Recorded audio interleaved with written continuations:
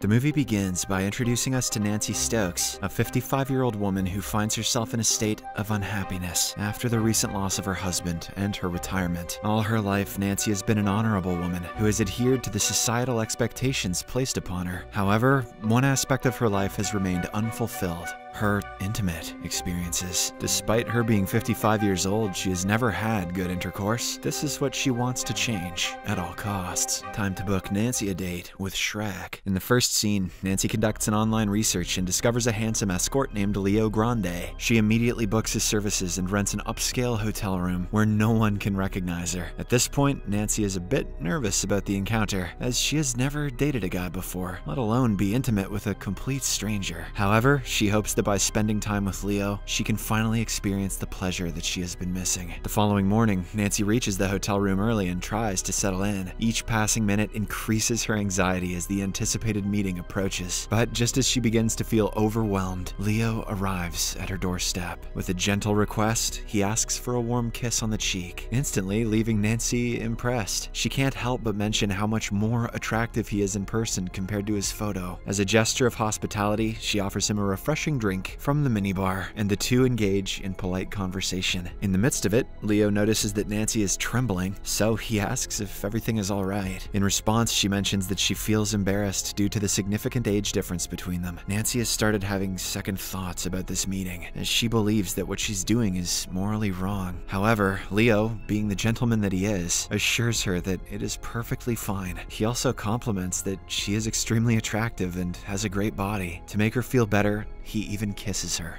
passionately. As Nancy regains her confidence, she begins talking about her past. She reveals that her late husband was the only partner she ever had, but their intimate life was terrible. He never allowed her to perform oral intercourse, believing that it was humiliating. what was he, insane? Most of the time, her husband would just kiss her on the forehead and go to sleep. After this, Nancy reveals something shocking. She has never experienced an orgasm in her lifetime. No, they're, they're a myth. She isn't intending to get one right now, as she feels too nervous. Leo understands her feelings and doesn't try to force the matter. Instead, he hugs her tightly, hoping to ignite the erotic flame within her. Following this, Nancy heads to the bathroom to change into her new nightgown, while Leo grabs a candy bar and eats it. When she eventually comes out, she finds him laying on the bed in a seductive manner. However, Nancy is not enticed at all. She instead mentions that she doesn't like the smell of the chocolate he just had. Because of this, poor Leo heads to the bathroom to brush his teeth. Upon his return, Nancy tells him that she has changed her mind. She no longer wants to have intercourse as she doesn't think it is right for her. She tells Leo that he can leave with the money. However, he chooses to stay and talk to her. He curiously inquires why a beautiful woman like her decided to hire an escort when she could have easily attracted other men. In response, Nancy reveals that several men her age have expressed interest in her, but she rejected them all. That's because she only likes young men. Flip the genders here in this movie is a problem. Nancy then opens up more about herself. She reveals that she used to teach religious education but feels a lack of guidance and meaning in her own life. She also confesses that she has made sacrifices for the sake of her two children, but even then, they have become distant from her. Throughout her life, Nancy has put aside her own dreams and desires, playing the roles of a dutiful daughter, wife, mother, and teacher. She feels as if she has wasted her life by always trying to do things correctly. Nancy also admits to being self-conscious about her appearance, influenced by her mother's teachings about vanity. However, Leo reassures her that it's perfectly fine to be confident and appreciate one's physical attractiveness. As their conversation deepens, a growing fondness and affection develops between them. Nancy is for sure on track to score that young dong. After some time, Nancy becomes curious and asks Leo if his mother knows about his profession. She wonders if he has a troubled past or if he ran away from difficult circumstances. Leo shares that his mother actually believes he works on an oil rig. She is totally unaware of his real occupation. Well, he does drill holes. He further says that providing intimate services is an important job, so he doesn't feel guilty or regretful about what he does. Hearing this, Nancy feels a bit better, realizing that she's not the only one with these desires. She in turn reveals her most sensual encounter to date. It was 30 years ago, when she, along with her family, were on a vacation in Greece. Nancy encountered a good-looking waiter and started making out with him. However, their romantic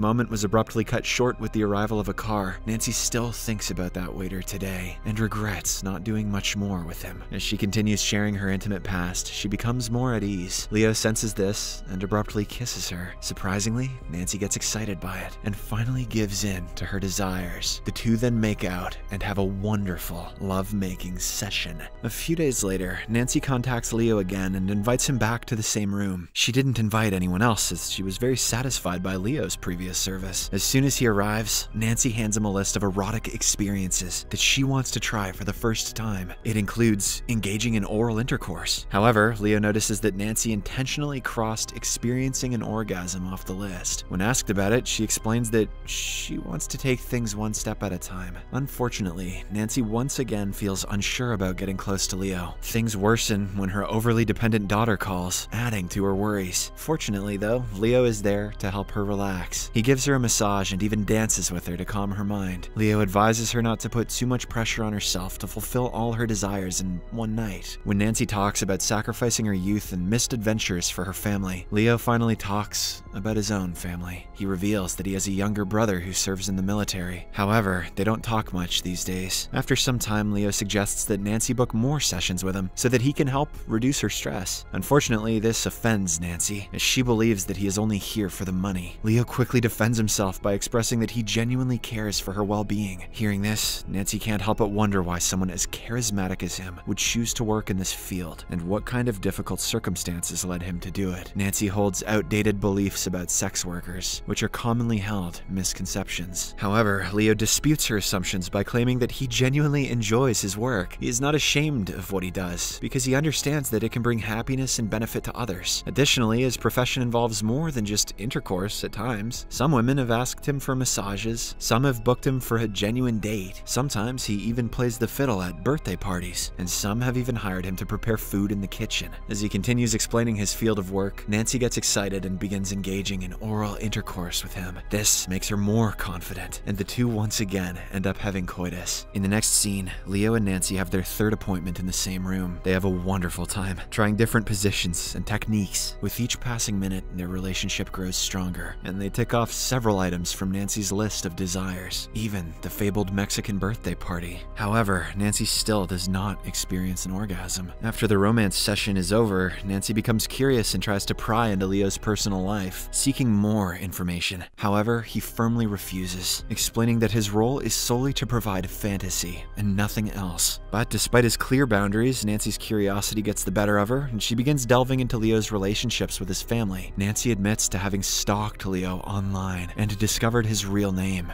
Connor. She expresses a desire to be friends outside of their sessions and advises Leo to share his work with his family. Unfortunately, this invasion of privacy infuriates him. As a result, he quickly changes back into his clothes and angrily tells her not to book him again. He also warns her against contacting his family or disclosing his personal information, threatening to reveal her as a customer if she does. After this, Leo storms out of the room, but then returns to retrieve his phone. While looking for it, he angrily opens up to Nancy about his troubled relationship with his mother. He shares that when he was 15 years old, his mother disowned him because she despised who he was, going as far as telling people that he was dead. When Nancy asks what he did to his mom, Leo becomes even angrier, expressing his frustration at her making assumptions. Saying this, he leaves the room for good. A few days later, Nancy books Leo for a fourth session as an apology and a farewell gesture, but this time she wants to meet him in a cafe. While waiting, she encounters Becky, a former student who happens to work as a waitress in the same cafe. As they chat, Leo arrives, prompting Nancy to create a story that they're there for business. The waitress then takes their order and leaves, giving the two some personal space. Nancy immediately takes this opportunity to apologize to Leo. She reveals that her real name is Susan Robinson and expresses her gratitude to him for helping her gain confidence and explore her sexuality. Nancy also mentions that she has recommended Leo's services to other women in her social group who she believes could benefit from his assistance, just like she did.